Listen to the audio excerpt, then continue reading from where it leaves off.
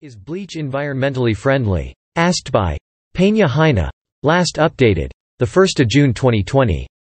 Category. Medical health. Dental health. 4. 3 fifths. 869. Views. 41 votes. Bleach is safe for the environment when used according to the label, but don't forget to read it. Always use products as directed. Sprays should stay in their bottles, but bleach-based floor cleaners may need to be diluted before use. Use as directed for germ-fighting results, especially in toilets. Click to see full answer. Furthermore, is Clorox bleach environmentally friendly? No bleach gets to the environment. The majority of Clorox bleach products contain anti-corrosion agents and, when used as directed, are safe for use on a variety of hard, non-porous surfaces, including stainless steel, plastics, glazed ceramics, glass, porcelain and other materials.